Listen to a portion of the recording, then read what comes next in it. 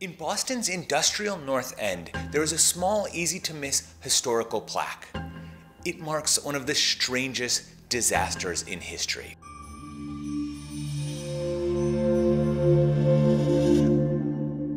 On a January afternoon in 1919, patrolman Frank McManus found himself shouting into his transmitter. He could barely believe what he was saying. Send all rescue vehicles and personnel immediately.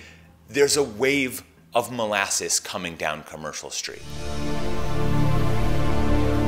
The Purity Distilling Company was in the molasses business, but they weren't in it to make syrup or sweets, they were in it to make booze and bombs. And they were in a rush. They had filled up their largest tank with as much molasses as they could find because they were racing against prohibition. They needed to get this stuff turned into liquor and sold before it was illegal. The tank that this molasses was stored in was huge. It was the size of a building and contained 2.3 million gallons of molasses. And when it burst, a two story tall wave of molasses went flying out in all directions and it was traveling at 35 miles per hour. And it wasn't just the sugary tide that was deadly. The tank itself became a weapon. Huge pieces of metal went flying into buildings, and the rivets that had held the tank together shot out like bullets. As the wave of molasses and the debris it carried went down Commercial Street, it picked up entire buildings by their foundations and just floated them out towards the harbor. Molasses came pouring in through people's windows,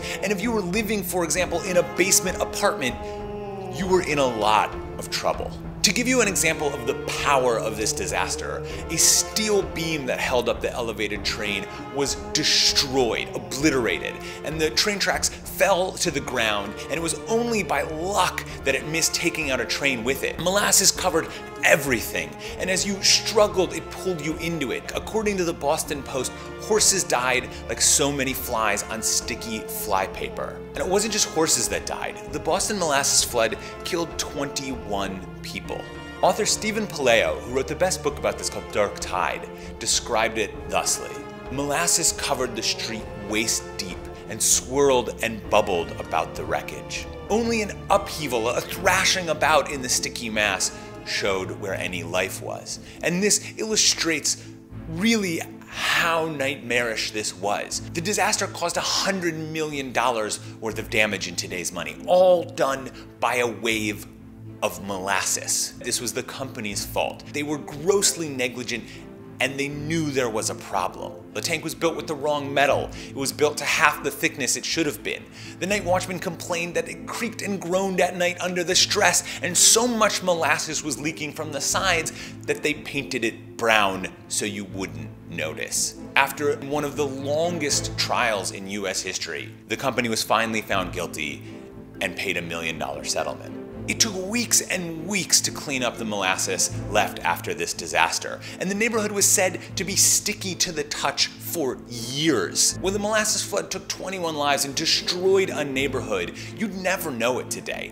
The only thing that marks it is a tiny little sign. But to this day, if you talk to a local resident, they will swear that on a hot summer's afternoon, you can smell the sweet aroma of molasses.